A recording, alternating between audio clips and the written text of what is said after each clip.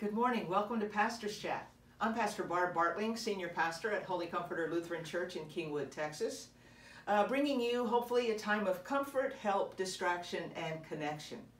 So today's topic is the Triduum. The Triduum, that's the three sacred days of Thursday, Friday, Saturday, seen as one celebration where the central events of Christianity are celebrated. Thursday, Friday, Saturday, which actually means Sunday, but I'll explain more about that in just a minute.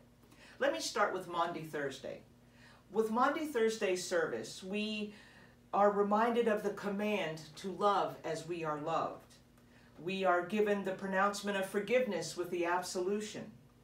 We have the institution of Holy Communion, remember where Jesus celebrated the Passover with his disciples, but in turn he said, This is my body, this is my blood. And also the ending of the service with the reading of Psalm 22 while the altar is stripped, representing Christ stripped of his power and his glory. The service then ends with the church left in semi darkness, and we move toward Good Friday. With Good Friday, this is an austere time of reflection and intercession, a time of meditation and prayer, if you would as well as the adoration of Christ, the sacrificial lamb. The church gathers on Good Friday to celebrate the Lord's sacrifice on the cross, but there is still triumph. It is the celebration of his triumph over death. Which leads us now to the vigil of Easter. This is the climax of the sacred three days that began on Maundy Thursday.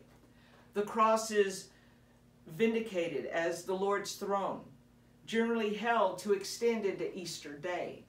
You really want to have the Easter Vigil go into Sunday because it's the climax, the, the end of the story, if you would, with the empty tomb. And so then Easter.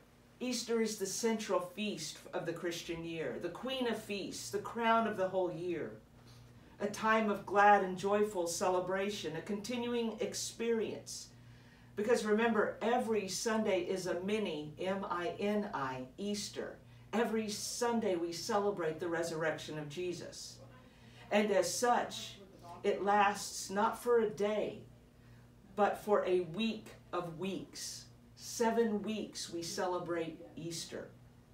Beloved, may you remember always that you are a child of God, redeemed, saved, and loved beyond our understanding.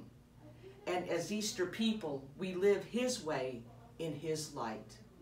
May you be a blessing to others. Let us pray. Lord God, you have called your servants to ventures of which we cannot see the ending, by paths as yet untrodden through perils unknown. Give us faith to go out with good courage, not knowing where we go, but only that your hand is leading us and your love supporting us.